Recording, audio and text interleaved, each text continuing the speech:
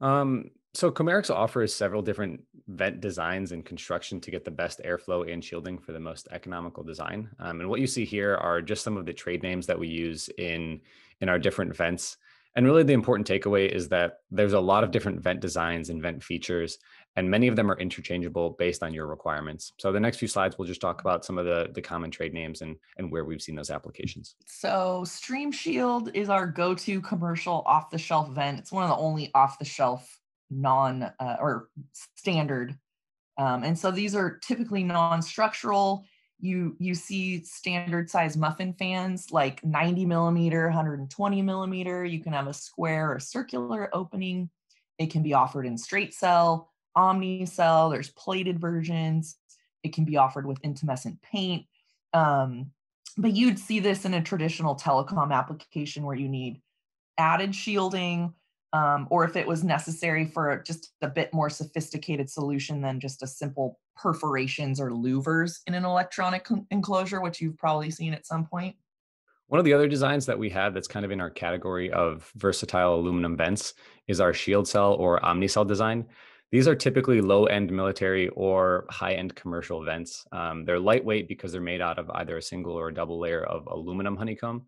Um, and they tend to use a combo gasket for mounting and mating up to a housing. Um, with a plating that can can add a, a, higher cost, you're going to see a shielding effectiveness increase, um, and it can also improve the uh, the shielding of of these vents, considering they're you know kind of straddle the line between lower end high performance and and higher end of, of the low performance. Um, finally, vents are actually going to include um, cross braces if they get larger than you know 12 by 24 inches for example okay so there's several advantages in the the higher end performance of of using steel or brass honeycomb and the more obvious reason is the strength and durability um, the rigid construction prevents damage from minor bumps of the honeycomb it's a very uh, honeycomb's very fragile so it can be damaged pretty easily um, you know, potentially eliminating the need for an added support like a kick guard or a frame brace. So steel and brass tend to be used in a lot of military enclosures, communication shelters. Anytime you hear, you know, designing something for EMP hardening or tempest equipment, you're going to think stainless steel or brass, um, especially in environmental uh, extreme environments where, you know, weather or uh, salt fog, salt spray is a is an issue. Um, but also a really important feature is the benefit of maximum H field shielding effectiveness. So it can be very difficult to shield and absorb at very low frequencies with traditional EMI shielding materials. Um, so steel is a very good candidate when I call the H word, H field shielding is needed. So something to know. And the other event that's in our category of high performance vents is uh, the CHO-CELL design. So it's a pretty standard military offering, um, and it's at a higher cost, higher performance vent. Um, it's an aluminum vent again with an electroless nickel plating, and it actually uses a uh, CHO-SEAL conductive elastomer gasket to get you know up to 90 dB attenuation across the entire frequency spectrum. So from anywhere about 200 megahertz up to about 10 gigahertz.